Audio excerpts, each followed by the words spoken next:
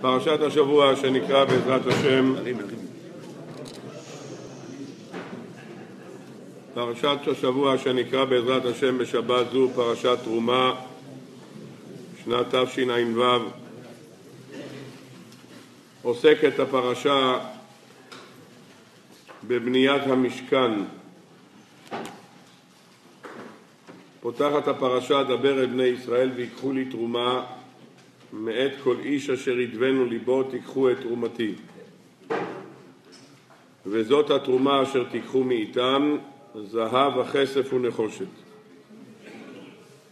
השאלה הראשונה שמאירים רבותינו ובראשם רש"י, מקור הדברים בחז"ל במסכת שקלים למה התורה חוזרת שלוש פעמים על המילה תרומה? ויקחו לי תרומה, מאת כל איש אשר ידבנו ליבו תיקחו את תרומתי, וזאת התרומה. היה אפשר לקצר את זה למקסימום פעמיים. דבר אל בני ישראל ויקחו לי תרומה, מאת כל איש אשר ידבנו ליבו. מה זה תיקחו את תרומתי? ודאי שיקחו את תרומתי. הערה נוספת שמעירים כאן רבותינו, היה צריך לומר ויקחו אליי, לא ויקחו לי, לא ויקחו, אלא אולי וייתנו, הערה נוספת שמעיר הכלי יקר, פעמיים מופיע כיחה לפני התרומה ופעם אחת מופיע כיחה לאחר התרומה. ויקחו לי תרומה, קודם ויקחו ואחרי זה תרומה, תיקחו את תרומתי, קודם כל תיקחו ואחרי זה התרומה, ובתרומה השלישית כתוב קודם כל תרומה ואחר כך כיחה, וזאת התרומה אשר תיקחו מאיתם. קודם כל מופיע התרומה ולאחר מכן מופיע הכיחה. הערה נוספת שמביאים רבותינו סביב העניין הזה, בתרומות הראשונות הוא מייחס את התרומות אל הקדוש ברוך הוא. ויקחו לי תרומה מאת כל איש אשר ליבנו ליבו תיקחו את תרומתי, זה לי וזה תרומתי. בפעם השלישית זה תרומה כללית, וזאת התרומה, לא וזאת תרומתי. פעמיים הכוונה לי, תיקחו את תרומתי, הפעם הראשונה ויקחו לי תרומה, והפעם השלישית מופיע בכללות. והשאלה היא למה, מה הסדר הזה של הפסוקים. החידה בספרו מביא בשם המהרי זאבי, שהתורה מגלה לנו כאן בשני התרומות הראשונות שתרומות אלה ניתנו על ידי הקדוש ברוך הוא. מתוך מכלול התרומות שהקדוש ברוך הוא ציווה להביא, זהב, הכסף, נחושת, חלת, ארגמן, תולעת, שני, ישנם שני פריטים שזה תרומה של הקדוש ברוך הוא. מהם התרומות של הקדוש ברוך הוא? אבני שוהם ואבני מילואים.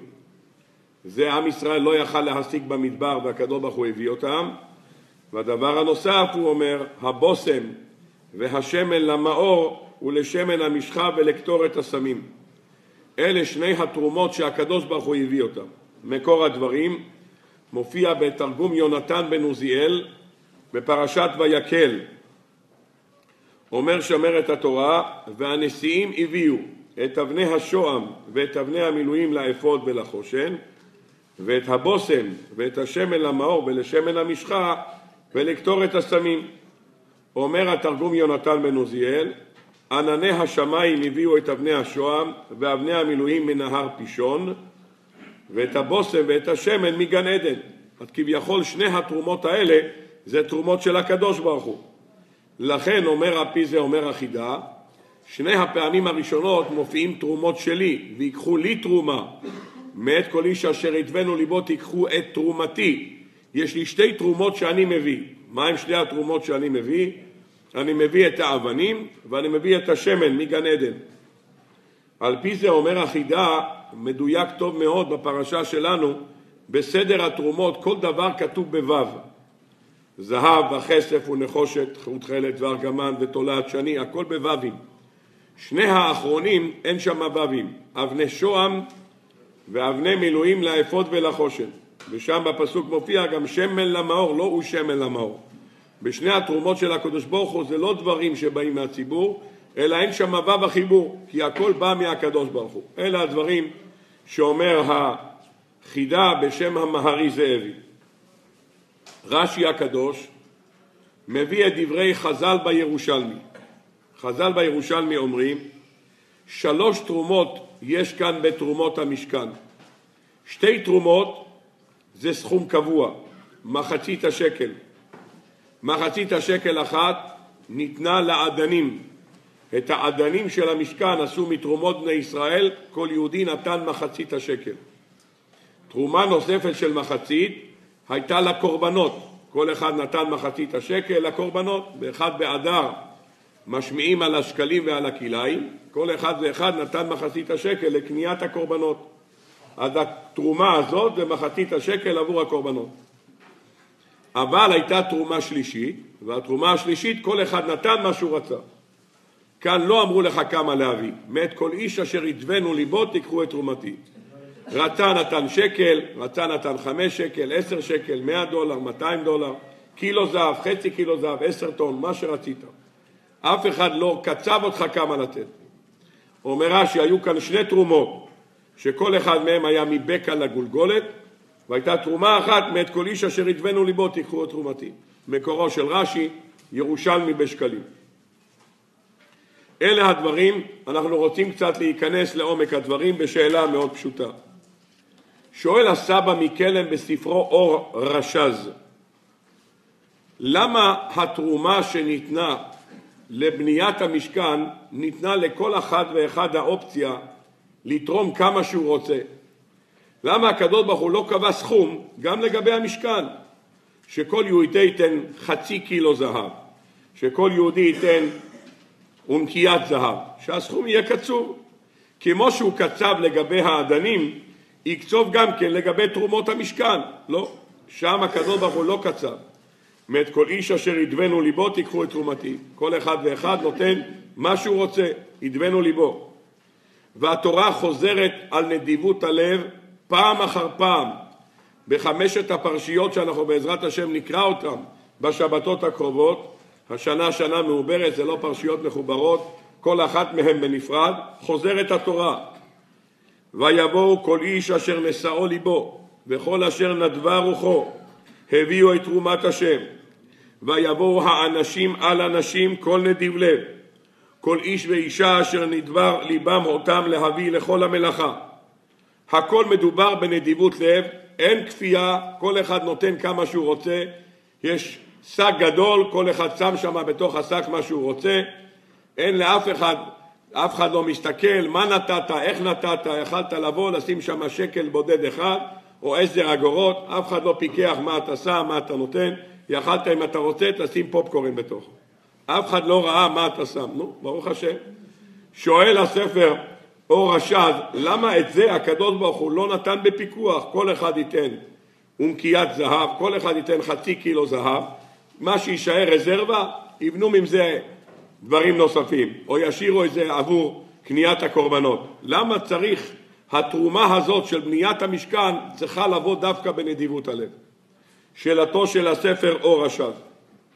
שאלה נוספת שלו היא על בעל הטורים כאן בפרשה.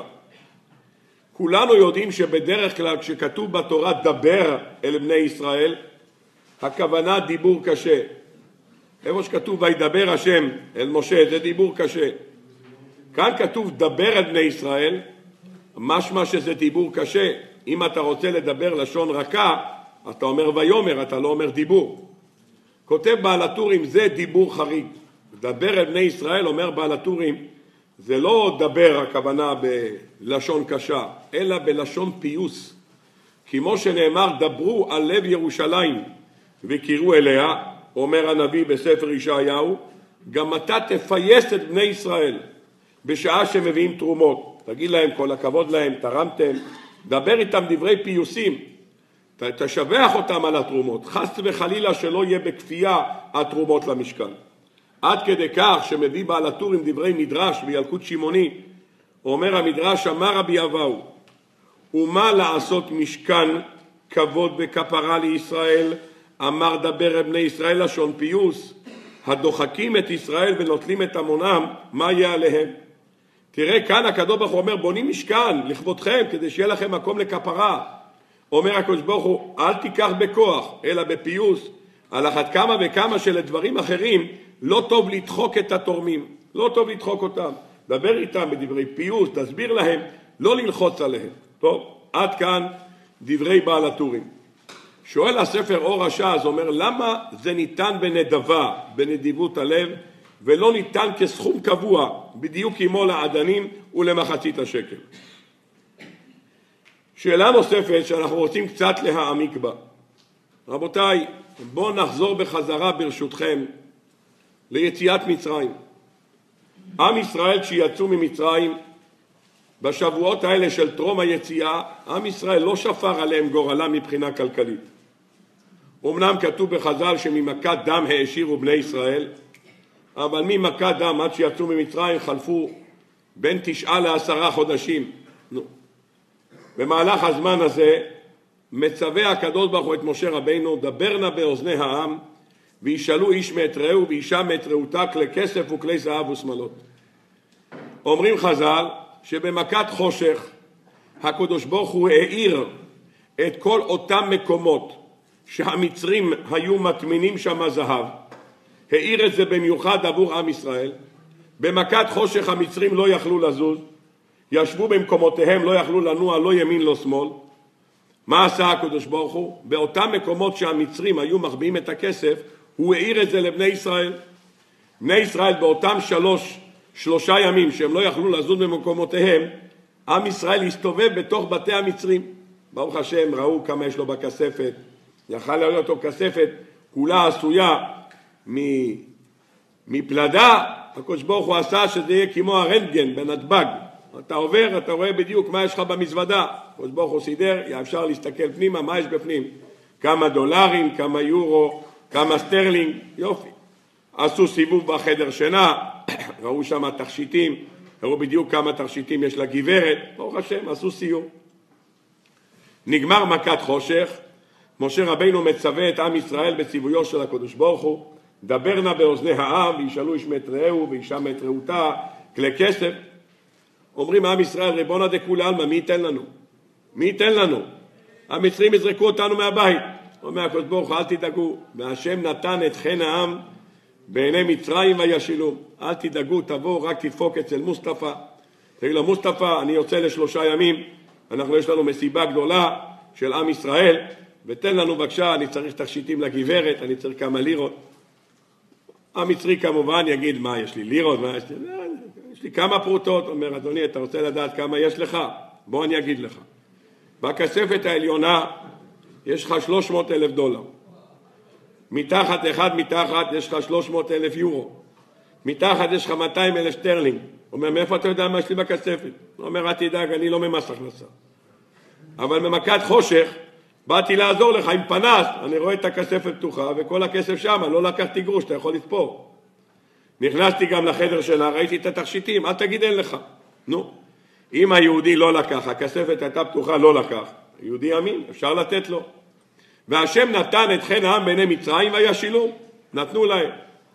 אומרים חז"ל בגמרא במסכת בכורות, אין לך יהודי אחד שיצא ממצרים שלא היה לו תשעים חמורים לובים טעונים מביזת מצרים. אחד. זאת אומרת, האדם הכי דפוק לקח רק תשעים חמורים. מאיפה היה כל כך הרבה חמורים? אני לא יודע, בטח עשו יבוא מסין, אבל בכל אופן, חמורים בכמויות, יש לך מושגים לכמויות, אין לנו מושגים בכלל. כל יהודי יצא עם 90 חמורים וזה העצלנים. אלה שהיו, ברוך השם, פעילים, ואמרו, יא, יש מצווה, עוד רוב, נעשה מהדר במצווה. אז אלה יצאו עם 200 חמורים, 300 חמורים, מי, מי הפריע להם? אם המצרי נותן לך, למה לא תיקח? העמיסו ברוך השם, קשרו את החמורים, יוצאים לדרך, בני ישראל, ברוך השם, קונטיינרים של כסף, עם ישראל 200 ילדים עם 200 חמורים, הכל טעונים בכסף ברוך השם, חגיגה. נו, ברוך השם, מגיע ים סוף, פרעה אומר רבותיי מי שירדוף אחרי בני ישראל יקבל הרבה כסף הוא פתח את האוצרות שלו, העמיס על הכרכרות שלו את כל הכסף שהיה לו באוצרות, את כל התכשיטים, רודפים אחרי בני ישראל. חז"ל אומרים שלא תחשוב שהיה איזה מצרי עשה, יכל לעשות חלטורה. לקח את הכרכרה עם הכסף, עשה פרסה, נכנס לתוך אלכסנדריה. לא אומר, לא, לא. הסוסים רדפו עד הים. למה? זימן הקדוש ברוך הוא סוסה, כך כתוב בחז"ל, דמות שהסוסים מתאווים לה, והיא הלכה בפרונט, וכל הסוסים אחריהם. שלא אחד פתאום יברח, יברח עם הכסף, לא, זה שייך לעם ישראל. רודפים אחריהם. נכנסים בים, סוגרים עליהם את המים, ברוך השם, אחרי שעה, לבקשת הקדוש ברוך הוא, הים פולט את הגופות. כדי שלא יגידו, עם ישראל אמר, נכנסו בצד אחד, יבואו מהצד השני, אולי יש להם מנהרות, בטח שמעו רעש בים סוף מלמטה. אז אמרו, אולי יש להם מנהרות? אומר, אין שום בעיה. ציווה הקדוש ברוך הוא לשרו של ים, גמרא בפסחים, אמר, לפלוט הגופות החוצה.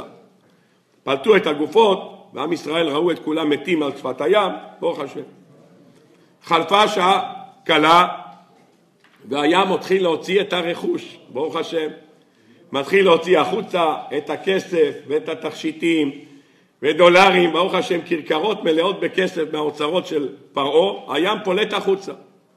אומרים חז"ל, ביזת מצרים הייתה פי כמה, ו... ביזת הים הייתה פי כמה ופי כמה יותר גדולה מביזת מצרים. אומרים חז"ל על פסוק בשירי השירים, תורי זהב נעשה לך עם נקודות הכסף, אומרים חז"ל, מה שהוציאו ממצרים היה נקודות של כסף לעומת תורי זהב שהיה מוציא, בן פורת יוסף. אבל אין חמורים. איפה שמים את זה? איפה שמים את הכסף? אין חמורים. אז איפה הכסף נמצא? על החמורים האלה. עד עד עכשיו היה רק קומה אחת, עשו קומה שנייה, ומי שהבטיח ברוך השם קומה שלישית, קשרו חזק, שלא ייפול הדולרים. זה יצא בחבילות של מאה אלף, עם הניילון. היה מסודר, סגרו, קשרו ברוך השם, אף אחד לא רצה ללכת משם כל זמן שהכספומט עובד. למה לעזוב? נשארו שמה, לא מוכנים לצאת, והים פולט עד שויסע משה, אומר יאללה תלכו כבר! ברוך השם. הים פולט, כל אחד יוצא עם ערימות שלוש קומות של דולרים ויורו, הכל קשור, יוצאים לדרך. רבותיי, ארבעים שנה במדבר אף אחד לא פתח את החמורים האלה. ערימות של כסף, הכל ארוז, אף אחד לא פותח את זה. למה לא פותח? כי לא צריך כסף. מי צריך כסף? אין שם כלום, אין שם כלום. אתה לא צריך לקנות לחם, יורד לך מן. אתה צריך לקנות קוקה קולה בתוך המים. אתה רוצה, יש לך סלב אם אתה רוצה. נו, מה אתה צריך? ניקוי יבש? שמת מחוץ לאוהל פתק, כתבת למטה ברקוביץ', בבוקר זה בא עם ניילון, ניקוי קשת, קיבלת את זה מכובד, ברוך השם, נקי, העננים עשו כיבוס, כך כתוב בחז"ל. בגדים אתה גם לא קונה. למה? הבגדים גדלו איתם. שימתך לא בלטה מעליך ורגלך לא בצקה. גדלו. יצאת ממצרים עם נעליים של אוניון, אחרי ארבעים שנה קיבלת Nike. גדל הנעל, ברוך השם. באת עם כיפה קטנה עם פומפון, הפומפון התנפח, נהיה כובע קנייטש במשך השנים. ככה היה במדבר, ככה היה, נו. אין לא הוצאות, לא כובע, לא קונים חליפה, לא קונים שום דבר, שום דבר לא נמס, שום דבר. אפילו עשר שקל למטחן של בית כנסת הגדול, גם לא צריך. היה להם מזגן בלי עשר שקל. עבד המזגן, טמפרטורה במדבר, 24 מעלות כל הזמן, אין שינויים. לא הלכו, אומרים חז"ל, אפילו לא צריכים ללכת, היה להם מדרגות נאות, כמו בנתב"ג, לא הלכו בכלל. נו, ברוך השם. במה? מי השתעבדו בכסף? כן, תכף, עוד לא העגל, אנחנו מדברים עוד בהתחלה. כמה, כמה נתנו לעגל? חוץ מזה שהם לא לקחו מהעגל שום דבר, הם לקחו את הנזמים באוזניים. אף אחד לא פתח את החבילות. רבותיי, חבילות ארוזות, אף אחד לא פותח אותן. נו, ברוך השם, סגור הכל. אומרים חז"ל, כך מביא הספר המאור שבתורה בשם מחילתא, וכל אחד מישראל בממון שהוציא ממצרים, בצירוף הממון שהוציא מתוך ים סוף, יכל לבנות את המשכן לבדו. הבנתם? קדוש ברוך הוא אומר דבר אל בני ישראל ויקחו לי תרומה, יכל לך להגיד רבנו קח את כל החמורים, תבנה הכל על חשבוני. on the house, קח. בכל אחד, בתשעים חמורים, אם הוא היה עצלן, אבל אם הוא היה זריז היה לו 200 חמורים, שם על זה קומות של כסף, בכסף שהוא אסף אפשר היה לבנות משכן, לא צריך עזרה מאף אחד. נו, אף אחד לא נתן. הקדוש ברוך הוא אומר, מאת כל איש אשר ידבנו ליבו. כולל המנורה, כולל הכל? אה? הכל, הכל במחיר. הכל בכל, ביבול של 180-200 חמורים, כולל הקומה השנייה והשלישית, הכל. הכל אפשר לקנות. אומר המדרש תנחומה, פרשת השבוע, וזאת התרומה אשר תיקחו מאיתם. אמר להם הקדוש ברוך הוא, אין אתם מביאים משלכם, אלא מביזת הים שנתתי לכם. לא שעבדתם קשה על הכסף הזה, עבדתם על זה, קיבלתם משכורת. שלחתי לכם עם UPS, הבאתי לכם את המצרים לתוך הים עם הכסף, העמיסו למעלה, מה שאני מבקש מכם זה בעצם, מה אני מבקש מכם? כסף שלי, נתתי לכם, סידרתי לכם את זה, אני מבקש שתביאו לי מה שנתתי לכם. נו. אה? לא היית במצרים, אה? היית במצרים? היית במצרים? נו, זה הבעיה. טוב, רבותיי, אלה הדברים שרבותינו אומרים לנו מסביב ליבול שהוציאו ממצרים. כן, במצרים היה להם. במצרים לא היה מן. במדבר, במדבר היה. כן, היה להם את מרים. כן. היה להם את הסלב. כן. לא צריכים כסף. לא צריכים כסף. מה צריכים כסף? אני אומר, המציאות שהיה להם. דבר ראשון, יש הרבה אנשים שיש להם לאכול וזה, יש להם מלא כסף. מה הם עושים עם זה? זה נמצא בבנק. מה, במדבר לא צריכים את זה, אבל המטרה היא להגיע לארץ ישראל. אף אחד לא לקח את זה בשביל המדבר. לקחו את זה לארץ ישראל. במצרים נתקעו 40 שנה במדבר, אבל אף אחד לא לקח את זה בשביל המדבר. מה תעשה במדבר? טוב, רבותיי, בואו נתקדם. בספר אור השז הוא כותב מכתב ליהודי שתרם לו כסף לבניין התלמוד תורה של כלם. הוא מרשה לו מכתב, תודה רבה על התרומה, מעריך מאוד את התרומה, משבח אותו. אחרי שהוא משבח אותו, הוא אומר הוא רוצה לתת לו דבר תורה, זו המתנה שהוא יכול לתת לו. אז הוא מדבר על עניין תרומת המשכן עם השאלות שהבאנו, ותוך כדי הדברים הוא מציג את השאלות שלו, הוא אומר אני לא מבין, הרי ידוע מה שדוד המלך מופיע בספר דברי הימים אמר שבשעה שהוא הביא את התרומות לבית המקדש הוא אמר את הפסוק שמופיע בדברי הימים הלא ממך הכל ומידך נתנו לך. הכל שלך מה שאני נותן זה הכל שלך הוא אומר הקדוש ברוך הוא אומר וייתנו לי תרומה. מה הבקשה הזאת שייתנו לי תרומה? הוא אומר הכל שלי ואני מבקש שתיתן לי תרומה. זה הבקשה.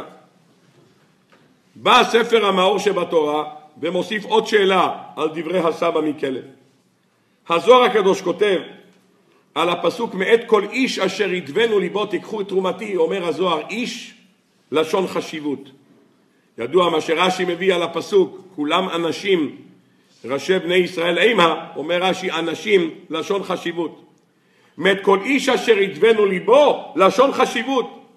אומר הזוהר, ויקחו לי תרומה מאת כל איש, דאיתגבר על יצרי, וכל מאן דאיתגבר על יצרי יקרי איש. מי שמצליח להתגבר על היצר קוראים לו איש. אז מאת כל איש אשר ידבנו ליבו תיקחו את תרומתי, ממי תיקח את התרומה? ממישהו איש. מי זה איש שיתגבר על היצר הרע? מה צריך להתגבר פה על היצר הרע? שואל הספר המאור שבתורה. על מה? עבדת על הכסף הזה? קיבלת מתנה, על זה אתה צריך להתגבר על היצר? בא הספר האור השז ושואל שאלה עצומה עם משל. אמשול לך משל למה הדבר דומה. אדם שהיה במצוקה כלכלית. הוא היה במצוקה כלכלית, הוא בא לחבר שלו, אומר לחבר שלו, ידידי היקר, אתה ברוך השם ברוך הש... בחור עשיר, אני רוצה שתעזור לי. נקלעתי לחובות, אני חייב מאה אלף שקל, הבנקים לוחצים אותי, ואני צריך עכשיו מאה אלף שקל בדחיפות. אומר לו החבר שלו, בוא כנס, אתן לך ביד נדיבה. לוקח פנקס צ'קים, רושם לו שם 360 אלף שקל. הוא אומר לו, ביקשתי 100, הוא אומר, כן, אני יודע. אני נותן לך עוד 260 אלף שקל ספייר. מתי שתצטרך תוכל לקחת משם, שים את זה בתוכנית חיסכון, הכוח לדפוק, שים את זה שמה, מתי שתצטרך תוכל למשוך מזה כסף. יופי, ברוך השם. חולפת חצי שנה, חצי שנה עוברת, הוא בא אליו ואומר, או, oh, מגיע השיר דופק על הדרך, מוישה, מה שלומך? ברוך השם. הוא אומר, תראה, אני הולך להקים כאן בשכונה, איפה שאתה מתגורר, אני הולך להקים בית כנסת. בשביל תושבי השכונה, ואתה ביניהם, מתושבי השכונה. אני רוצה שתתרום גם אתה משהו לבית הכנסת. הוא אומר לו אותו בן אדם, אני אתרום? אין שום בעיה, זה כסף שלך. מה שתגיד לי לתרום, אני אתרום. זה כסף שלי, אתה נתת לי, יש לי בצד ב-260 אלף שקל, כסף שלך. מה אתה רוצה? מה שתגיד לי לתרום, אני אתרום. אומר לו, לא, אני לא אגיד לך, נתתי לך את הכסף, תעשה את זה מה שאתה רוצה, אבל אני רוצה שתתרום. שואל הספר אור השז, אומר, אני לא מבין. הכסף הוא של הקדוש ברוך הוא. הוא נתן להם את ביזת הים. צריך להתחנן אליהם את כל איש אשר ידבנו ליבו תיקחו את תרומתי? אומרים אתה צריך להיות גבר, איש, ויסגבר על יצרי. צריך להתגבר על היצר כדי לתת את התרומה הזאת. מה מונח כאן? שואל הספר אור השז. אני רוצה בעזרת השם להסביר את הדבר אבל לפני שאני אביא את הדברים של אור השל, אני רוצה לדבר על נקודה אחת שאחרי זה נוכל להבין מה הוא מתכוון. ישנם דברים, יכול להיות שאפילו לא קשור פה לציבור, אבל כדי להשאיר את הידע שלנו, יש מחלה שקוראים לה חמדת הממון. היא לא מצויה במחוזותינו, ברוך השם, אבל, לא יודע מה אתם כולם צוחקים, לא יודע מה קרה. אה, מי שנכנס אדר כנראה. אבל בכל אופן, יש מחלה כזאת שקוראים לה חמדת הממון. מחלה. אני רוצה לדבר על המחלה הזאת ורוצה להוכיח משהו על המחלה הזאת וללמוד אותה לעומק בסייעתא דשמיא באמצעות שלושה מאמרי חז"ל. חז"ל בגמרא במסכת סנהדרין מספרים שמנשה המלך, בנו של חזקיה, היה איזה דף? בדף צדיק ט'. מנשה המלך היה דורש דרשות של דופי. היה לוקח פסוקים בתורה ודורש בהם דרשות, מלגלג על הפסוקים. בין הפסוקים שהוא לגלג עליהם זה פסוק בפרשת ויצא. וילך ראובן בימי קציר חיטים וימצא דודאים בשדה. שאל מנשה, למה התורה מספרת לנו שזה היה בימי קציר חיטים?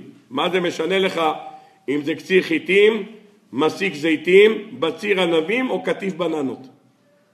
אתה רוצה לספר שהוא הביא לאימא שלו דודאים. וילך ראובן וימצא דודאים ויבא לאימו.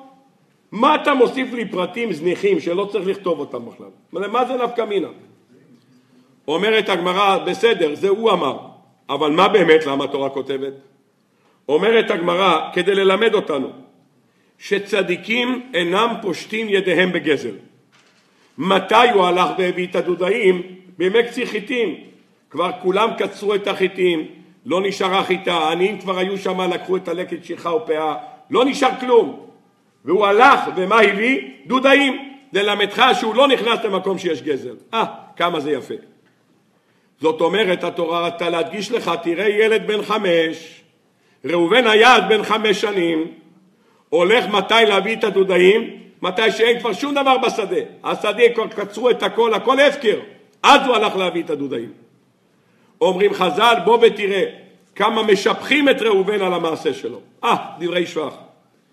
אומר המדרש, ילקוט שמעוני, בשעה שברך יעקב אבינו את ראובן, אמר לו ראובן בכורי אתה. לשבח היה אומר. אומר רבי נתן, יעקב משבח אותו. לך נאה הבכורה, אתה מתאים לך להיות בכור. שכל הבכורות גזלנים וחמסנים. כל הבכורות יש להם תכונה של גזל וחמסנות. הם לא חייבים להיות גזלנים וחמסנים.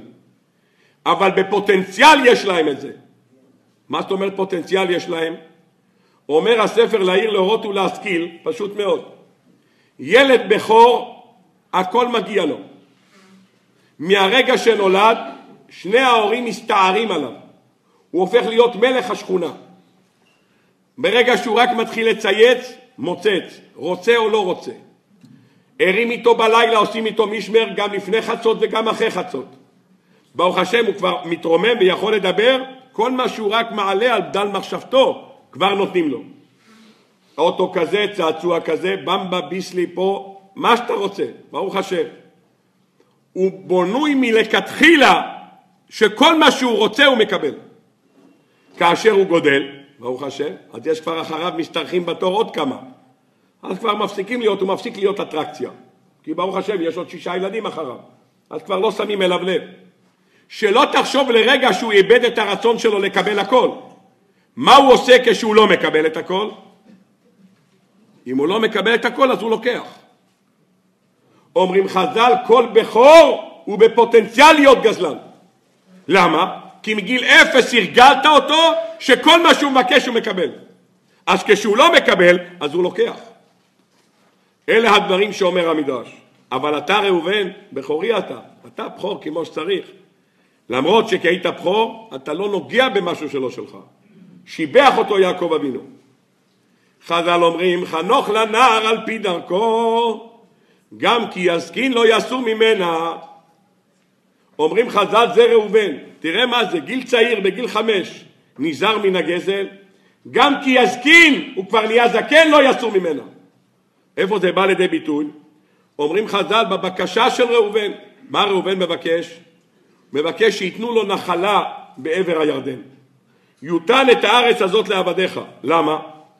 אומרים חז"ל במדרש הגדול, אמרו בני גד ובני ראובן, אם נוחלים אנחנו בארץ ישראל, יש סכנה גדולה. יש לנו הרבה צאן, הרבה בקר. יש סכנה שהצאן והבקר שלנו ילכו לרעות בשדות זרים. לכן אסור לגדל בהמה דקה בארץ ישראל. אנחנו פוחדים שמחץ וחלילה איזה איזה בזיזה שלנו תיכנס לאכול בשדות זרים ואנחנו נחשב לגזלנים? אנחנו לא רוצים לחשב לגזלנים. אה, חנוך לנער על פי דרכו גם כי יזקין לא יסור ממנה. תראה כמה שבחים משבחים את ראובן. רבותיי, אתם יודעים כמה זמן חלף מראובן עד שהוא ביקש נחלה בעבר הירדן? ראובן כבר מזמן נפטר. הבן של ראובן נפטר, הנכד שלו נפטר, הנין שלו נפטר, הבן נין שלו נפטר, הבן בן בן נין שלו נפטר. שלוש מאות שנה עברו מאותו אירוע, שלוש מאות שנה. היו כבר 210 שנים במצרים, 40 שנה במדבר, ו-40 שנה עד שהגיע ראובן למצרים, הוא היה בן 40 וכמה. נו, תעשה חשבון. השפעה של ראובן עשה בקדישה לפני עשר דורות. שנזהר שלא לקחת מן הגזל, אתה יודע מה הוא השפיע? תראה איפה הוא השפיע. חנוך לנער על פי דרכו גם כי יסכין, לא הוא.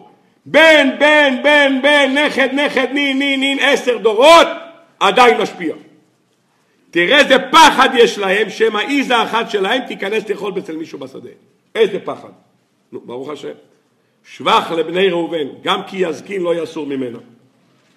אומרים חז"ל, לא רק זה, דע לך, שאלה מטורנה אחת את רבי שמעון בן חלפתא, בכמה ימים ברא הקדוש ברוך הוא את העולם? אמר לה בשישה ימים. ומה הוא עושה מאז? כולנו יודעים, מזווק זיווגים. אבל רבי שמעון בן חלפתא לא היה צריך להשיב, הוא רצה לענות לפסוק השם מוריש ומעשיר. הקדוש ברוך הוא עושה סולמות. מה עושה בסולמות? מעלה לזה ומוריד לזה. לוקח עשיר אחד מעלה אותו, לוקח אחד עני ומעלה אותו, לוקח עשיר ומוריד אותו. עושה סולמות, בדיוק כמו בשידוכים, ככה בכסף. השם מוריש ומעשיר. זה התפקיד שלו הקדוש ברוך הוא עושה בשאר הימים.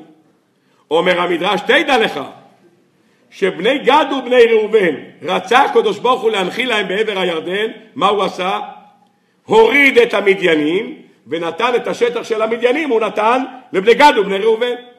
הוריד את המדיינים שהיו ברום המעלה, הוריד אותם והכניס את בני ראובן. אה, הקדוש ברוך הוא דאג לבני גד ובני ראובן. יופי. יעקב משבח אותם, המדרש משבח אותם. רבי שמעון בן חלפתא אומר, תראה איך הקדוש ברוך הוא מגלגל את זה. אותו מדרש באותו מקום, פסקה אחרי זה אומר המדרש. דע לך, ומפני שגד ובני ראובן ביקשו נחלה בעבר הירדן, הם הראשונים שגלו מארץ ישראל. הראשונים שגלו מארץ ישראל בגלות היה בני גד ובני ראובן. למה? למה? הרי כל הבקשה שלהם מעבר הירדן הייתה כדי שלא יהיה גזל. והקדוש ברוך הוא סיבב שהמדיינים ילכו הביתה כדי שבני גד ובני ראובן יקבלו. והשם עושה סולמות, ויעקב משבח אותו, אז מה אתה רוצה ממנו? הוא גלה, הוא השם שהוא גר בעבר הירדן, היה לו הרבה צאן, מה אתה רוצה ממנו? אומרים חז"ל במדרש הגדול, אמר רבי יהודה, קשה היא המחלוקת, אפילו להציot סייג לתורה, שכן מצינו בבני ראובן, שהיה להם מקנה הרבה, והיו מבקשים להתרחק מן הגזל, ולפי שפרשו מישראל תחילה, גלו תחילה. אתם יודעים מה כתוב כאן במדרש? המדרש הזה אומר, תדע לך, היה לבני גד ובני ראובן טעות בשיקול הדעת. למה טעות בשיקול הדעת? אתם באים ומבקשים נחלה בעבר הירדן. למה אתם לא באים לשאול את משה רבינו? משה, תגיד, יש לנו צאן, אנחנו חוששים שייכנסו לאכול בשדות זרים. האם רצוי שנמכור את הצאן ונמכור את כל הצאן, נקבל כסף, ניכנס לארץ ישראל ונבנה מפעל להייטק, נהיה לעבוד בהנהלת חשבונות, נהיה חקלאים, או לא, נגור בעבר הירדן. מה הפסדתם? הפסדתם שאתם לא גרים בארץ ישראל ואתם לא מחוברים לכל עם ישראל, אתם גרים שם שתי שבטים וחצי. אם הייתם גרים בארץ ישראל, מרוויחים יישוב בארץ ישראל, וחוץ מזה גרים עם עם ישראל. למה הלכתם לשם? כי יש לכם עיזים. למה אתה לא בא לשאול את משה רבינו? משה, מה לדעתך, למכור את העיזים? בארץ ישראל אי אפשר לגדל אותם. למכור אותם כאן על הדרך בכניסה, למכור אותם למדיין, למכור אותם לאחד הערים, או להיכנס עם זה. הם לא שאלו שאלות. אומרים, יש לנו עיזים, מהעיזים אנחנו לא נפרדים, אנחנו רוצים נחלה בעבר הירדן. אומרים חז"ל באותו מדרש, אומרים חז"ל זה נקרא נחלה מבוהלת, אין בזה ברכה. למה? תראה איך הם מבקשים ממשה רבינו. מה הם מבקשים? גדרות צאן נבנה למקננו והרים לטפנו. את מי הם מקדימים? קודם כל הם דואגים לעיזים שלהם, אחרי שהם דואגים לעיזים הם דואגים לילדים. רבותיי, תראה מה עושה בקשה שלהם, לבקש בקשה על מה? הם מבקשים בקשה לקבל נחלה בעבר הירדן, ואתה רואה מה מסתתר מאחורה? מאחורה מסתתר שהראש שלהם בנוי על דבר אחד. על מה? כסף. כסף! אה, נכון, הם צדיקים גדולים, הם זהירים מן הגזל, אבל הם מקדימים גדרות צאן לצאן, גדרות צאן נבנה למקננו בערים לטפנו, קודם כל למה הם מבקשים? קודם כל הם מבקשים את הנחלה, קודם כל הם דואגים לצאן שלהם. רבותיי, אם אלה הדברים, בואו נלך עוד שלב אחד. בספר דעת שרגא של הגאון רבי שרגא גרוסברג, הוא אומר שהנקודה הזאת, זה מה שכתוב בחז"ל. חנוך לנער על פי דרכו, גם כי יסכין לא יסור ממנה, גם רדיפת הממון נמצא בתוך היציאה הזאת. וילך ראובן בימי קציר חיטים, אומר הספר דעת שרגא, בשביל מה אתה הולך? וילך ראובן, בשביל מה אתה הולך? בשביל מה אתה מסתובב ברחובות? בשביל מה? אבא שלך עני מרוד? אבא שלך אין לו מה לתת לאכול?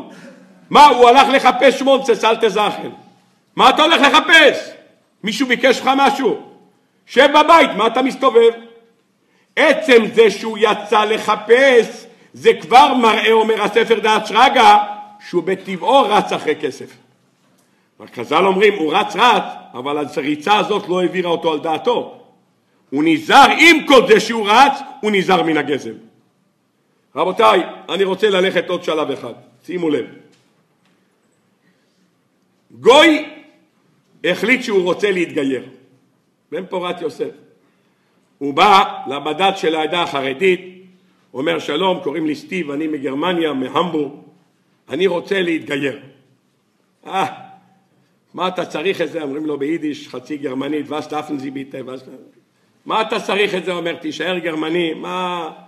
אתה יודע כמה קשה להיות יהודי, אתה הולך ברחוב, כל הזמן אתה מחפש אם מישהו לא דוקר אותך מאחורה, איזה ערבי מאחורה, איזה יהודי מקדימה, מה, מה, תישאר בגרמניה, רגוע, אף אחד לא יפריע לך, הכל בסדר. אתה יודע מה זה איזה לחץ, אה, תתגייר, יכניסו את הילדים שלך למוסדות, מה קרה לך? אתה יודע כמה לחץ יש, אה, תישאר גוי. לא, לא, הוא חייב להתגייר, הוא עם ישראל נרדף. הוא נרדף, אומר, אז תתרום כסף למד"א. נו, מה? לא, הוא חייב להתגייר. משכנעים אותו, מדברים על ליבו, זורקים אותו, תבוא שבוע הבא, אין לנו הרכב, לדבר, תבוא, תלך, תבוא. לא עוזר שום דבר, הוא רוצה להתגייר. נו, ברוך השם. מתגייר, מלמדים אותו הלכות. לך בבקשה, תלמד במכון. שולחים אותו למכון, לומד הלכות, לומד הלכות שבת, לומד הכל, יודע ברוך השם הכל. פעם, אתה יודע מה זה שבת, אתה יודע מה זה איסור שבת, אתה יודע מה, אתה יודע מה זה בשר, יודע הכל ההלכות, עם כל הקשיים. רות המואביה, באשר תלך אליך, אשר עלי, הוא מוכן הכל. הכל, הוא רוצה להתגייר. תדע לך, אל תתחרט אחרי זה, לא יקבלו את הילדים שלך במוסדות, אחרי זה תבוא תצעק, מה, ואהבתם את הגר? לא יעזור לך שום דבר, אנחנו לא נעזור לך. תישאר גוי יותר טוב, אני אומר לך, תרד מה... אני רוצה עם כל ה... אני אפתח לבד תלמוד תורה. הוא יודע להסתדר, בסדר גמור, אין בעיה. הוא מתגייר בשעותו ובמוצלחס. אה, ברוך השם, מגבילים אותו, מלאים אותו, טובל לשם גרירות, מברך על מצוות תפילה, יוצא מהמים, יהודי, קוראים לו אברהם בן אברהם. נו, ברוך השם. עכשיו הולך ללמוד בישיבה. לומד בהתחלה משניות, אחרי זה לומד קיצור שולחן ערוך, מדרש לומד אחרי זה משנה ברורה, לאט לאט מתקדם, גמורה, אה, ברוך השם, מתחיל מברוכל, שבס, דף היומי, ברוך השם מתפתח. נהיה בן תורה לכל דבר ועניין, מציעים לו שידוך ברוך השם, נערה יהודייה כשרה מבית, מבטן ומלידה, לא גיורת, לא סוג ב', ברוך השם, לא צולעת ולא שום דבר. יד ראשונה, ברוך השם, כלילת המעלות. מה? אם גם כן התפעלה, משהו, איך יהיו ככה, גוי יתקרב, היא רוצה להתחתן איתו, ברוך השם. מתחתנים, בשעותו בו מוצלחת, כתר הרימון, הוא מגרמניה, נו, אז הביאו הגרמנים, הביאו כסף, עשו חתונה בכתר הרימון, ברוך השם, בשעה טובה ומוצלחת, נולדים להם ילדים, ברוך השם, בן ובת, וברוך השם, בת ובן, בסערת נשמע, בניך כשתילי זיתים, הוא ברוך השם כזה אברך בן תורה, לומד בכולל כזה טוב, כל המוסדות קיבלו את הילדים שלו ברצון, אה, משהו פלא מופלא. נכנסו למוסדות הכי טובים, הכי טובים ברוך השם, אה, יוצא מן הכלל. חולפים להם 15 שנה, יש לו כבר בנים אחרי בר מצווה, יש לו כבר בת בסמינר, מתקשרים אליו מגרמניה, אומרים לו, אדון סטיב, המכונה אברהם, אברהם המכונה סטיב, אבא שלך נפטר, או כמו שאומרים בשפה שלנו, התפגר. אבא שלך מת. מת. נו, הוא מוזמן ללוויה. נוסע ללוויה, אבא שלו. נוסע ללוויה, הוא לא צריך לשבת שבעה. לא צריך לשבת שבעה, רק אם הוא רוצה חופש מעבודה הוא יכול להגיד שהוא יושב שבעה. אבל באופן עקרוני, על פי ההלכה, הוא לא צריך לשבת שבעה. הוא מגיע לגרמניה, ויש בצוואה כתוב שאבא שלו מוריש, יש בן ובת, מוריש לבן ולבת לכל אחד מיליון יורו. מיליון יורו. זה לא, לא רע דווקא. לא יודע כמה זה היורו היום, אבל משהו כמו חמש מיליון שקל, פחות או יותר. אה? ארבע ארבעים? ישמור את זה קצת, יגיע לחמש בעזרת השם. מישהו פעם היה חייב לי חמשת אלפים שקל, הוא נתן לי אלף דולר. אמרתי לו, מה זה? זה רק ארבעת אלפים מאתיים שקל. הוא אומר, תשמור, זה יגיע לחמש. טוב. בכל אופן, הוא מקבל מכתב, במכתב יש צוואה מעורך דין, מיליון יורו! אור השם, מיליון יורו. הוא שואל את הרב שלו בארץ ישראל, ירשתי מיליון יורו. זה שלי? אבל אתה יודע מה כתוב בהלכה? גר שהתגייר כתינוק שנולד דמי, אין לך שום קשר אליו. אתה לא יורש אותו. אין לך שום נקודת חיבור איתו. אתה לא יכול לרשת אותו. למעשה, אם זה עובר בשקט ומעבירים לו את הכסף, זה בסדר גמור. אבל מה נעשה אם אחותו היא למדה יהדות, אבל החליטה לא להתגייר. היא יודעת את כל ההלכות. היא באה אליו ואומרת לו, אברהם, המכונה סטיב, אתה רוצה מהירושה? נא. למה לא תקבל מהירושה? בוא נלך תתבע אותי בבית הדין של הבד"ץ. על פי דין תורה, יהודי שהתגייר לא יורש את אבא שלו. אז אתה לא יורש. אחותו למדה יהדות, אבל לא התגיירה בסוף. בן פורת יוסף. נו, עכשיו הוא נשאר עם מיליון יורו בחלום. אין כסף. מה עושים? מה עושים? בית משפט רגיל. האחות אומרת בוא לבד"ץ, מה זה בית משפט רגיל? בית משפט אומרת בד"ץ, הוא לא יכול להגיד אני רוצה בית משפט, התגיירת, לא? מי הנתבע? יש הלכה, אתה לא יורש את אבא שלך על פי הלכה, מה זה הנתבע? אומרים חז"ל גמרא קידושין י"ז עמוד ב' אף על פי שמדין תורה גוי לא יורש את אבא שלו הוא תינוק שנולד אבל אמרו חכמים תן לו הכסף למה תן לו הכסף? למה אם לא תיתן לו הכסף אתה יודע מה הוא יעשה? הוא יחזור בחזרה להיות גוי הוא התגייר עם כל הקשיים, אמרו לו יהיה לך קשה, ככה, ככה, ככה, ככה, אחרי כל מה שאומרים לו, התגייר, התחתן עם בת ישראל כשרה, חי, מגדל פה משפחה לתפארת, עם שמונה ילדים, בכל המוסדות הכי טובים, יש לו מיליון יורו, אתה יודע מה הוא יעשה? אתם לא נוטלים לי על פי דין תורה, הוא יצא ממדינת ישראל עם התיק, ישים את הכיפה בסניף בית חב"ד בנתב"ג ולהגיד להתראות. התגיירת? מה הבאתי לך אנציקלופדיה? גמרא י"ז מסכת קידושין י"ז עמוד ב' בטח נראה למה יש לך בתוכנית מישהו? בקיצור זה הגמרא מסכת קידושין דף י"ז עמוד ב' כך אומרת הגמרא רבותיי אני רוצה לשאול אתכם אדם שהיה מוכן לעזוב את הכל השפיעו עליו, לא כדאי לך, תעזוב את זה. מוכן להכל, מתגייר, מקים משפחה עם כל המשפחה שלו. אם יש על כף המאזניים מיליון יורו, אומרת הגמרא, תיזהר. אם לא תיתן לו את זה, אתה יודע מה יהיה הצעד הבא? יש חשש שמא יחזור לסורו.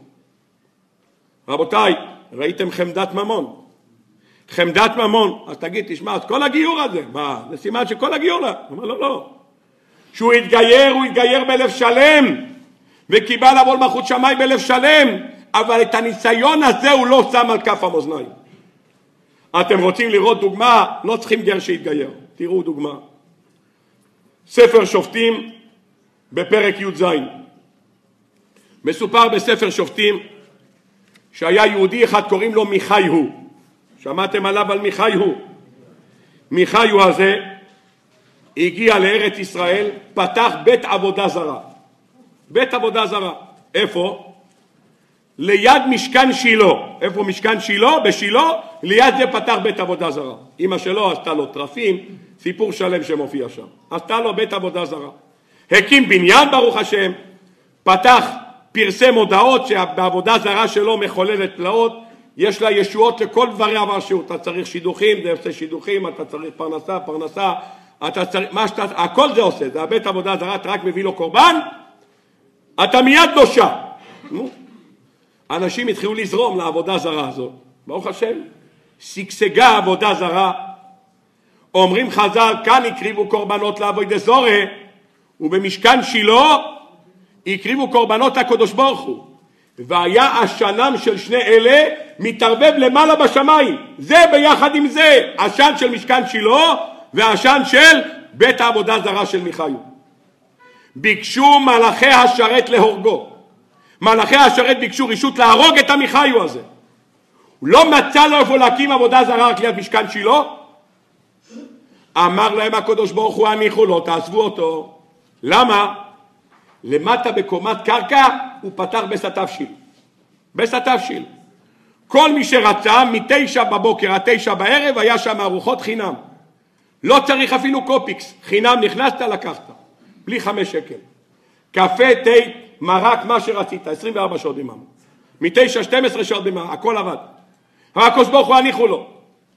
רבותיי, העבודה הזרה הזאת פרחה, שגשגה, לא היה מספיק עובדים בבית העבודה זרה לספק את התצרוכת של הבאים להביא קורבנות לעבודה זרה. הם פרסמו מודעות דרושים, נערים לעבודה זרה, תנאים מצוינים למתאימים. יופי. אומר הנביא בספר שופטים, הגיע לשם נער אחד, הנער הזה שהגיע לשם הגיע, והוא לוי, כך כתוב בפסוק. כתוב בפסוק, והגיע הנער מבית לחם יהודה, והוא לוי והוא גר שם. ויואל הלוי לשבת את האיש, הבחור הזה הואיל לשבת ביחד עם מחיו, ויהי הנער לא כאחד מבניו. הבחור הזה שהגיע היה כמו בן של מיכאיו. רבותיי, מי היה הילד? בואו נחזור קודם לשאול מי זה היה מיכאיו. אומרים חז"ל מיכאיו היה ילד שמשה רבינו הוציא אותו מהקיר. בשעה שמשה רבינו בא וראה שתופסים ילדים לא גמרו להשלים את אמת הבניין, שמו ילדים ושמו על זה טיח. אמר משה, מה? ריבונו של עולם, לוקחים ילדים, שמים בקירות? אמר לו הקדוש ברוך הוא, קוצים אני מכלה מן הקרן. תאמין לי, כל אלה ששמים אותם שם בפנים, אם נשארו חיים, צרות גדולות יהיה לעם ישראל. אתה לא מאמין, תוציא אחד. משה רבינו הוציא אחד, מי זה? מיכאיו. אומר חז"ל, ולמה נקרא שמו מיכה? שנתמכמך בבניין, השקוע בבניין. הוציא אותו, משה רבינו לקח אותו, גידל אותו, טיפח אותו, היה בן טיפוחיו של משה רבינו. בחז"ל בחטא העגל שנקרא בעזרת השם עוד שבועיים, כתוב שבשעה שעשו את העגל ושמו בתוך הגיגית את כל הזהב שאספו וזה עשה מדורה גדולה אבל עגל לא יצא מה עשה עמיחיו הזה? לקח את הפתק שהיה לו בכיס שמשה רבינו בכתב ידו כתב כדי שארונו של יוסף יעלה למעלה היה כתוב עלי שור לקח את זה זרק יצא העגל החוצה משה רבינו נפטר ונכנס יחיו הזה לארץ ישראל. הגיעו לשילה, מיכיו הזה פתח עבודה זרה, זה הפסל מיכה הידוע, זה מיכיו הזה. אומר הפסוק, הוא חיפש עובדים, הגיע עובד. מי זה העובד? ויואל הלוי לשבת את האיש. אומר בעל הטורים, יש עוד פסוק כזה, ממש דומה לו שתי טיפות מים. ויואל משה לשבת את האיש. איפה זה מופיע? פרשה שמויס. בשעה שמוישה רבינו מגיע ליתרו, הואיל משה לשבת את האיש, אומר בעל הטורים. אמר לו יתרו, אתה רוצה להתחתן עם ציפורה? אמר לו כן. הבן הראשון שייוולד לכם הולך לעבודה זרה. משה רבינו אמר, עזוב, הוא רק עכשיו בתחילת דרכו, הוא הפסיק לעבוד עבודה זרה, עדיין לא התגייר. עכשיו הוא מבקש, הוא יירגע, עוד כמה חודשים הוא יירגע, בסדר. אמר לו בסדר. למעשה יתרו שכח מזה, זה לא היה בר סמכה בכלל. משה רבינו חזר למצרים, הוא לא אמר לו תשאיר לי את הילד, שום דבר, שכח מהעניין.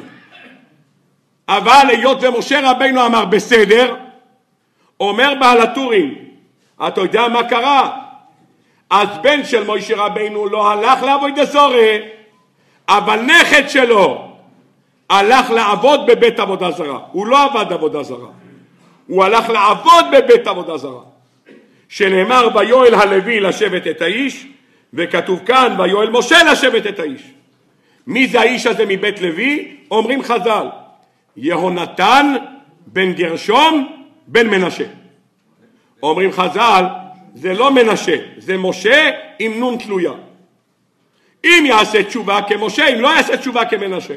טוב, נון תלויה הכוונה שהיא נמצאת מלמעלה, הנון נמצאת מלמעלה, אחד כותב ושכח לכתוב עוד, עושה כזה וי וכותב שם, זה נקרא נון תלויה.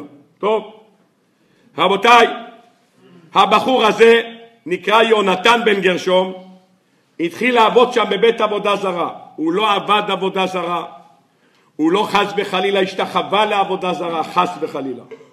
היה עובד שם. שואלים חז"ל, איך יכול להיות שהוא האריך ימים? מיציאת מצרים עד תקופתו של שלמה המלך. איך יכול להיות שהוא חי כל כך הרבה שנים? משיצאו ממצרים עד מתי שבנו את המקדש, כמה שנים זה? 480 שנה. נו, איך יכול להיות שהוא חי כל כך הרבה? אומרים חז"ל כי הוא היה עושה צחוק מעבודה זרה. צחוק. מה עושה צחוק? אומר הירושלמי מסכת ברכות, אומר המדרש בשיר השירים, פרק ב', מדרש רבה. היו באים אנשים לעבוד את העבודה זרה. מגיע בן אדם עם כבש, אומר סליחה מי זה פה האחראי? אומר אני. הבאתי כבש, אני מבקש ממך תקריב אותו לעבודה זרה, תגיד לו, זה השם שלי. איוון בן סטיבן, אני צריך ישועה לזיווג הגון. בבקשה. נותן לו, הבאתי לו כבש, ובעזרת השם אני אבשע, אני אביא לו שני כבשים וישור, רק שיסדר את העניין. מגיע אליו הנכד של מוישה רבינו, אומר לו אדוני, רד מהעניין. א' כל הוא לא אוכל כבשים. אם אתה רוצה, לדחוף לו את זה. אם אתה רוצה לתת לו מה שהוא אוהב, תביא לו שני פיתות, חביתה, גבינה נפוליון. זה מה שהוא אוהב. וזיתים. מה באמת? לא. הוא מעדיף חלבי. מעדיף. הוא מעדיף, הוא צמחוני, הוא אוהב חלבי. לוקח את הכבש אלפיים שקל, שם אותו בחזרה במגז', נכנס למכולת, קונה גבינה נפוליון, שתי פיתות, גבינה צהובה, מלפון חמוד, זיתים, שם הכל, ברוך השם, הכל בסדר, ברוך השם. אומר לו, בעזרת השם, עד הצהריים הוא יאכל. אותו אדם יוצא החוצה, יונתן בן גרשום ניגש, אוכל את הלחם עם הגבינה, עם הזיתים, מברך ברכת המזון, והכל בסדר גמור. אחריו נכנס עוד יהודי, אומר, הלו, מי אחראי? אומר, אני, הבאתי עז. אומר, עזוב אותך, מה, אתה לא יודע שהוא אוהב חלבי? חלבי? אומר, כן, מה להביא לו? שום דבר, תביא לו כריות עם חלב. אין לו דרישות גדולות. תביא צלחת אחת עם חלב, עם קצת קראנצ'ים בפנים. לא סיפור גדול. הוא מסתפק במועט עבודה זרה, הוא בקטנה כמו שנקרא. מה באמת? הוא אומר, כן. נכנס לחנות, קונה קופסה קראנצ'ים, ביחד עם חלב, מביא לו, אומר, תודה רבה, עד הצהריים סדר. בצהריים לוקח את זה יונתן, עושה מזה משמש, קראנצ'ים וזה, יש ארוחת צהריים. ככה היה מוכר לכולם תותים. היה לוקח את האוכל שלהם, עושה מכולם צחוק. כך כתוב בחז"ל, לא אני, מדרש רבה, תסתכלו בשיר השירים פרק ב', מופיע גם בירושלמי, מסכת ברכות. יום אחד מגיע בן אדם, ברוך השם, כולו אנרגיות, הוא רוצה להקריב קורבן, כולו, מי אחראי? אומר אני, אני רוצה להקריב קורבנות. רואה אותו בשיא הלהט, שואל אותו יונתן בן גרשון, תגיד בן כמה אתה? אומר אני בן חמישים. אומר תגיד אתה נורמלי? אדם בן חמישים עובר טמבל כזה שנולד לפני שלושה חודשים? זה עבודה זרה חדשה אמרת. אתה בן חמישים אדם נורמלי הולך לעבוד לבובה כזאת? מה קרה לך? אתה לא נורמלי. נו, אותו יהודי בן חמישים, בחור פיקח, שואל את יונתן בן גרשום, תגיד, ואתה נורמלי? מה אתה עובד פה? אומר לו בן גרשום, מה זה מה אני עובד פה? זה הפרנסה שלי. אז אני עובד פה, מה? משלמים טוב, לכן אני עובד פה. אומרים חז"ל, על הצחוק הזה שהוא עשה על עבודה זרה, הוא האריך ימים. שואל הספר המאור שבתורה, אני לא מבין, אדם שנמצא בתוך חנות, נמצא בתוך מסעדה, באים אנשים להזמין אוכל, אומר אני עובד פה, אל תאכל את זה, אל תאכל. זה, זה העובדים הערבים במטבח, כל טרטור בתוך, אל תיגע בזה. תגיד, איך בעל המסעדה משאיר אותו שם? למה לא זורק אותו? אם הולך הנכד של מוישה רבינו זורק את כולם החוצה, מה פתאום משאירים אותו שם בפנים? שלח אותו הביתה. אומר הספר המאור שבתורה, אתה יודע על מה לא שלחו אותו הביתה? כי הריזומה הכי גדול שהיה להם, שנכד של מוישה רבינו עובד אצלהם בקליניקה. אמר מיכיו, גם במחיר שהוא זורק כל יום שלוש פציינטים הביתה, שווה להשאיר אותו פה. למה? אני כותב, אצלנו פסל עבודה זרה כל הישועות בעשרה שקלים, אני כותב הכל. בין הבולטים בעובדינו, נכדו הידוע והמוכר בחיר ליבו אהבת נפשו של נותן התורה משה רבינו. היה שווה להם להפסיד עשרים פציינטים בשביל לכתוב את זה למטה. רבותיי, היה תהפוכות בעולם. עלה דוד המלך למלוך ונודע לדוד המלך שהנכד של מוישה רבינו עובד בבית עבודה זרה. הוא בא אליו ושאל אותו, רבלה, מה יאי? מה אתה עושה כאן? אתה נכד של מוישה רבינו עובד בבית עבודה זרה? אמר לו כן. כך מקובלני מבית אבי אבא. הסבא שלי מוישה רבינו אמר, לעולם יעבוד אדם עבודה זרה ולא יצטרך לבריות. אמר תלך לעבוד עבודה זרה, רק אל תאסוף כסף. ככה סבא שלי אמר. אני לא היה הלכתי לעבוד בבית עבודה זרה, סבא שלי ככה אמר. אמר דוד המלך, ככה סבא שלך אמר, אתה נורמלי? סבא שלך אמר, לעולם יעבוד אדם עבודה שהיא זרה לו ולא יזדקק לבריות. אדם עובד בהייטק, עובד ברוך השם, יושב על כיסא, מתנדד, דופק על המקשים כל היום, טק טק טק. מביא הביתה עשרים אלף שקל. ברוך השם. יום אחד סגרו המפעל, nada, אין יותר מפעל, סגרו את ההייטק, אין. הוא הולך לחפש עבודה, אין עבודה. אין עבודה, סגרו שלוש מפעלים, אין עבודה. אומר לנו דוד משה רבנו, לעולם יעבוד עבודה אדם עבודה שהיא זרה לו. אתה עכשיו איפה היית? בקריית עתידים, קומה 22. ממול זה בונים עכשיו בניין. תלך להיות פועל בניין. עד עכשיו דקף, דפקת על מקשים, עכשיו תדפוק עם מסמרים. הלמה? לעולם יעבוד אדם עבודה שהיא זרה לו ולא יסתפק, לא יצטרך לבריות. פשוט נבילה בשוקה, אומרת הגמרא, ולא תסתקק לבריות. ככה אומר, אז אני אוסף. הייתי בטוח שזה, אני אוסף. אמר לו דוד המלך, תשמע, אני רואה שאתה עובד פה, למה? יש פה הרבה כסף, אתה מקבל כסף, משכורת טובה, תנאים טובים למתאימים, אתה מקבל גם טיפים. אומר, תשמע, אני רואה כמה אתה חומד כסף, אני הולך למנות אותך לשר האוצר במלכות דוד המלך. שר האוצר! אם אתה ככה אוהב כסף, אתה תשמור על הקופה כמו שצריך. תן לך משכורת טובה, תהיה שר האוצר, תעשה כסף! מינה אותו להיות שר האוצר, אומרים חז"ל, פסוק בספר דברי הימים, החליפו לו את השם, קוראים לו בשם שבואל, זה השם שלו. שבואל, שואלים חז"ל, מה זה השם הזה שבואל? אומרת הגמרא, ששב לאל בכל ליבו. כך כתוב בגמרא. המקור של זה אמרנו, פסוק בדברי הימים, ושבואל בן גרשום בן מנשה נגיד על האוצרות, וכי שבואל שמו ולא יונתן שמו. אומר רבי יוחנן ששב לקל בכל ליבו, גמרא בו בבסרי דף ק"י. נו, ברוך השם. עבד אצל דוד המלך, היה שר האוצר מאוד מצליח, מלכות בדוד המלך.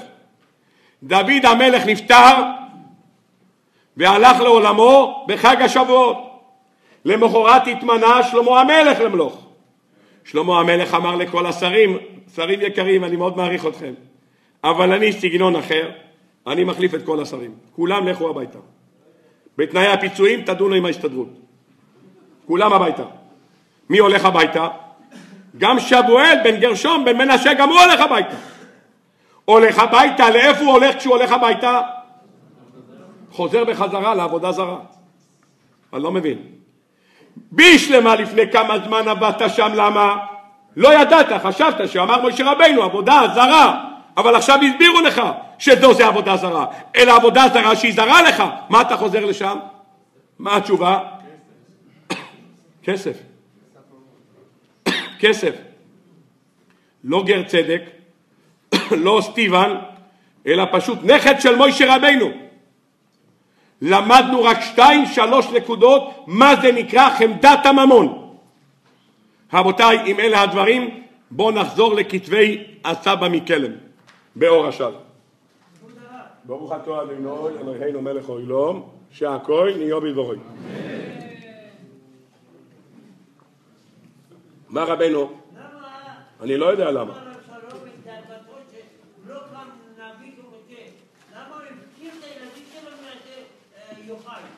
מה מה? אתה, לא הבנתי את השאלה. משה רבנו היה לו שני בנים. נו.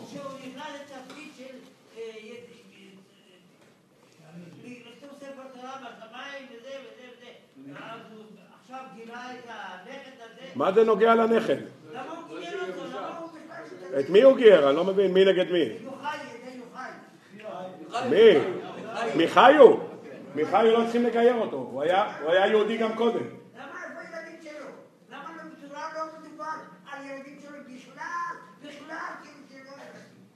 לא. אבל אדרבה, משה רבנו היה בטוח שהבנים שלו ראויים להמשיך להנהיג, לא? לא... חז"ל אומרים שמשה רבנו היה בטוח שהילדים שלו מתאימים להנהיג את כלל ישראל. נכון? או. לא שמעת, זה בעיה בשמיעה. בשעה שמשה רבינו בא ומבקש מהקדוש ברוך הוא, מה הוא מבקש? למנות מנהיג על העדה אשר יצא לפניהם ואשר יבוא לפניהם ואשר יוציאם ואשר יביאם. מכיר כזה פסוק? מה, מכיר כזה פסוק? מה בסדר? מכיר? על מי הוא ביקש? על מי הוא ביקש? על מי הוא ביקש? נו, אז התורה מדברת על הבנים שלו. אז מה אמרת שהוא עזב אותם?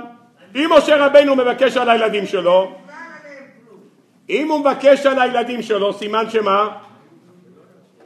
סימן שהילדים שלו ראויים למנות את המקום של משה רבינו. לומד פסוק בתורה, הרב, לא לומד פסוק בתורה? טוב, רבותיי, רבותיי, טוב, רבותיי, בואו בסייעתא דשמיא נלמד את הנושא. אומר הספר אור השז, בוא ותראה מה זה דבר שנקרא חמדת הממון.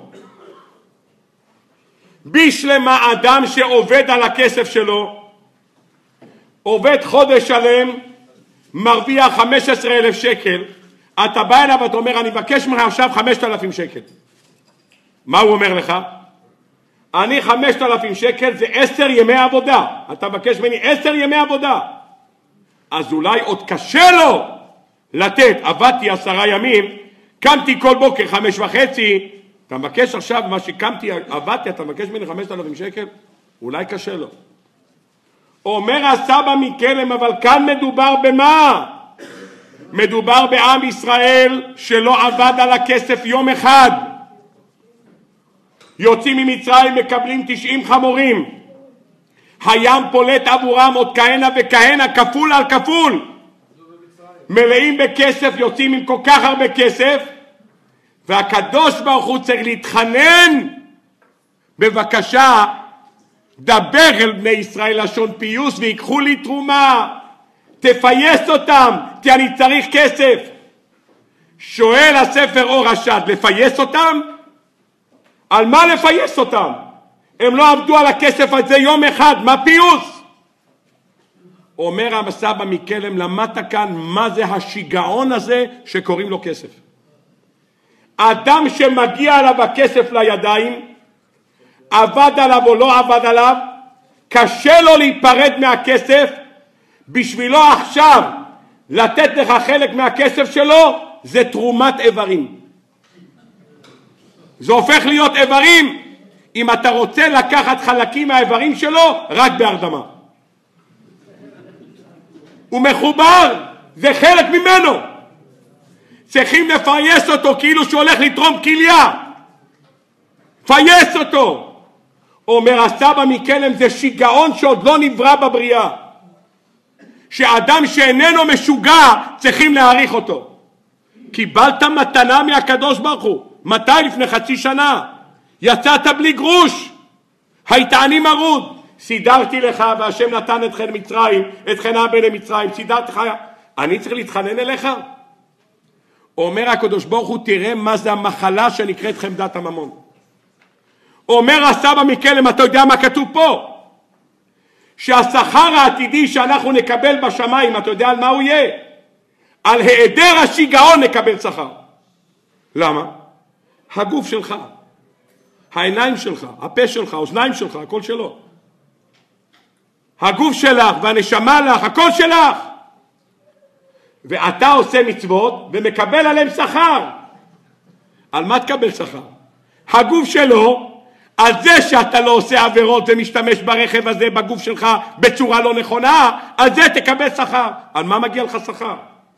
נתן לך גוף ואמר לך, אדוני, יש תנאים לנסיעה הזאת. אתה נוסע ברכב הזה, יש תנאים, איך נוסעים? על זה שאתה נוסע כמו שהוא אמר לך, תקבל שכר. הרי כל מה שאתה חי זה בזכותו. אז על היעדר השיגעון נקבל שכר. לאחר ההקדמה הזאת אומר הסבא מכלם יסוד, רבותיי, פלא מופלא. אמר הקדוש ברוך הוא, אני רוצה שהתרומות למלאכת המשכן, האדנים, יהיו ממחצית השקל. אבל המשכן יהיה מתרומות של כל איש אשר ידבנו ליבו. למה? רבותיי, שימו לב, רעיון נפלא. אותו דבר ראיתי גם בבאר משה מיוז'רו. אומר הספר אור השד, ישנם שתי סוגים של מצוות. אומרת הגמרא מסכת עבודה זרה דף ג', הגמרא מסכת קידושין, גדול המצווה ועושה ממי שאינו מצווה ועושה. גדול המצווה ועושה יותר ממי שאינו מצווה ועושה. אם היו שואלים את השכל הפשוט שלנו, מה אנחנו אומרים, מי יותר גדול? היינו אומרים, מי שאינו מצווה ועושה, יותר גדול מצווה ועושה. אם אדם לא מצווה ועושה, כל הכבוד לו. אומרת הגמרא, לא! גדול המצווה ועושה יותר, למה? אומר תוספות, יש לו יצר הרע. הוא גם פוחד כל הזמן, שהוא לא יפספס את המצווה. יש לו כל הזמן יראה. הוא מצווה להתפלל. אז אם הוא קם בבוקר ואין לו מניין, השם ירחם. אז הוא גר במושב שיש שם רק מניין אחד. מניין אחד שש וחצי. הוא כבר קם בחמש וחצי, הוא כבר לא, לא מסוגל ללכת לישון. למה? אם חס וחלילה הוא ירדם עכשיו. הוא יישן שעה וחצי, אין מניין. הוא יתפלל ביחידות. הוא כבר קם בחמש וחצי. אז בבני ברק אין לו בעיה אם הוא יכול לחבר את שחרית עם מנחה ביחד. לא בעיה. אבל אם אתה גר במושב, מניין אחד, שש וחצי. אתה מחמש ורבע כבר מדע, אני לא הולך לישון. התעוררתי, אני לא לוקח סיכונים, אה? אתה כל הזמן בלחץ. אתה כבר מתפלל, שם תפילין, כל רגע אתה בודק, זה באמצע, לא באמצע, באמצע, כל... אתה בלחץ כל הזמן. ציצית, כל רגע אתה בודק, יש שם שמונה חוטים, אין שמונה, כנקרא, לא נקרא, אתה כל הזמן בלחץ. יהודים כל הזמן בלחץ, הוא כל הזמן ביראה. כי המצוות מביאים לו פחד. הוא כל הזמן בשבת מפחד, זה בוירר, זה לא בוירר, זה מייגי, זה לא מייגי, הוא כל הזמן בלחץ, זה היהודי. אז זה מצווה ועושה. רבותיי, יהודי בלחץ עושה דברים בגלל הלחץ שלו. יהודים שיש להם רוצים לקנות אתרוג. אלה שקונים אתרוג מהודר לא קונים אותו חמש דקות לפני כניסת החג. אתם יודעים מתי הם קונים? באלול. באלול הם כבר מתקשרים לסוחר אתרוגים, הלו, הרב ניימן, אני צריך אתרוג, יש משהו טוב? כן, אתה רוצה, ממיינים עכשיו, אתה יכול לבוא למחסן. אה, הוא בא, השם כבר מתי הולך? שבוע לפני ראש השנה. הוא כבר נמצא שם, כבר לוקח אתרוג, כבר בודק. הוא לא יכול עם הלחץ הזה, הוא לא יכול לתקוע בשופר אם האתרוג לא נמצא למעלה. לא, לא, הוא, הוא בלחץ. זה הלחץ. יש אנשים, אומר הספר רבי צלב לזר, שגם במצווה ואויסה הם לא מצווים ועושים. הם אף פעם לא בלחץ. אתה יודע מתי הם קונים ארבע מינים? אם החג נכנס בשש ורבע, בחמש ועשרה הוא הולך לשוק. חמש ועשרה. פותח את החלון, הלו, יש לכם ארבע מינים? וכן, נשאר. קח עשרים שקל תביא, אם לא תשאיר את זה אצלך. אני אקנה מוצאי החג, הוא לא מהר כי החג הראשון הוא שבת. הוא לא בלחץ. האדם רגוע, רילקס, כל... הוא לא בלחץ. אומר רבי צלב אדם כזה נחשב אינו מצווה ועושה בתוך המצווה ועושה. כי כל המצווה ועושה למה נועד? להביא אותך לך לחרדה, להתכונן למצווה. ישנם בני אדם שבתוך המצווה עצמה הם רגועים, ברוך השם.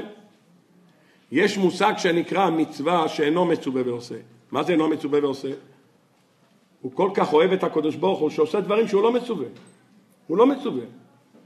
אתה יכול לעשות מצוות של אינו מצווה בתוך מצווה. אם הקדוש ברוך הוא ציווה לשבת צריכה להיות משעה חמש עד שעה שש ורבע. זה מצווה ועושה. אז הוא כבר בחמש, חמישה לחמש כבר הכל, הכל בסדר. שמה פלטה, הכל, הביא גנרטור שבת, הכל עובד. שבת יוצאת שש וחמישה, שש ועשרה הוא יוצא, בראבו. אבל ישנם אנשים שהם אוהבים את הקדוש ברוך הוא, אז הם לא בחמש, ארבע וחצי כבר בבית כנסת, כבר קיבלו את השבת, כבר סידרו את הפלטה בשלוש אחרי צהריים, הכל לומד, הוא כבר מגיע בארבע וחצי, יושב בית הכנסת, אומר שיר השירים, שניים מקרובי חותרגום, עם אור החיים, עם רמב"ן. השבת יצאה, לא שש וחמישה, לא, השבת יוצאת, הוא שומר רבנו תם, יש לו זמן עד עשרה לשבע, יש לו זמן, הוא לא מהר, מה קרה? מה קרה, ממהר? היית בבית מלון, היית יוצא מוקדם? עד מתי אפשר להישאר בחדר?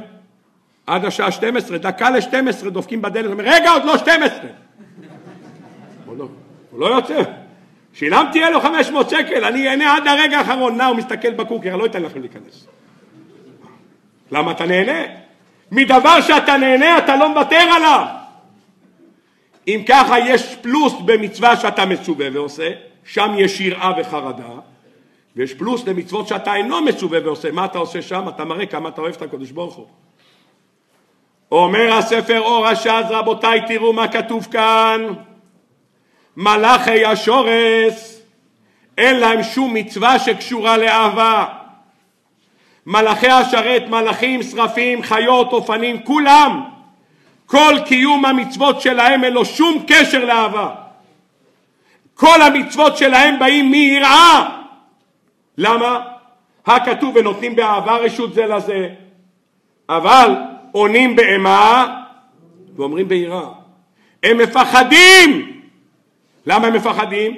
אומרים חז"ל, אתה יודע ממה בנוי נהר דינור? מהזיעה של המלאכים שהם מפחדים מהקדוש ברוך הוא. מהזיעה! פחד יש להם מהאלוקים. הם לא יכולים להוסיף כלום על המצווה. אמר לך תעשה כך, תלך לפה, הוא לא יכול לומר, הלכת פה, נלך עוד שתי מטר. אין דבר כזה. אמר אין תוספת של אהבה, העבודה שלהם היא מהירה. לנו בני אדם קרוצי חומר, ניתן לנו את האפשרות לעבוד את הקדוש ברוך הוא מיראה ומאהבה. ודאי שגדול המצווה יותר משאינו מצווה ועושה. אבל זה מצד היראה, מצד האהבה, יותר גדול משאינו מצווה ועושה, יותר ממצווה ועושה. אומר הקדוש ברוך הוא, אם אני אגיד לכולם לתת כסף למשכן, לא רק מחצית השקל לאדנים, לא רק מחצית השקל לקורבנות, אלא אני אגיד שכל אחד צריך לצאת חצי קילו זהב עבור המשכן, המשכן כל כולו יהיה בנוי על מה? על יראה. והקדוש ברוך הוא רצה שהמשכן יהיה בנוי מיראה ומאהבה. אז מה הוא עשה? אז את האדנים שזה הבסיס של המשכן, זה התושבת של המשכן, זה מצווה אותך לתת חצי שקל. למה? כי הבסיס של עבודת השם מה היא? עבודה מהירה. אבל ההמשך, מה ההמשך צריך להיות? מאת כל איש אשר ידבנו ליבו תיקחו את תרומתי. כל אשר נדבה אותו רוחו, כל מי שרוצה לתרום הוא יתרום, לא בכוח. למה? אומר הסבא מקלם, על זה כבר אמר, על זה כבר אמר שלמה המלך בשיר השירים. הפריון עשה לו המלך שלמה מעצי הלבנון, עמודיו עשה כסף, רפידתו זהב, מרכבתו ארגמן, אבל תוכו רצוף אהבה. התוך של המשכן חייב להיות בנוי על אהבה. זאת אומרת, בלבבי משכן אבנה. כל יהודי צריך לבנות לעצמו משכן לקדוש ברוך הוא. המשכן של הקדוש ברוך הוא, אומרים חז"ל, בנוי משני חלקים. הבסיס של הבית שלך צריך להיות בנוי על יראה, אבל הפנים כולו מאהבה. ושנקיים את המצוות שלנו בשילוב של יראה ביחד עם אהבה, יזכנו הקדוש ברוך הוא לראות בקרוב ממש את בית המקדש השלישי במהרה בימינו אמן ואמן. וראה מלכה שאומר רצה הקדוש ברוך הוא זכות ישראל. לפיכך הבא להם תורה ומצוות שנאמר, אז לא חופץ למען צדקו, להביא תורה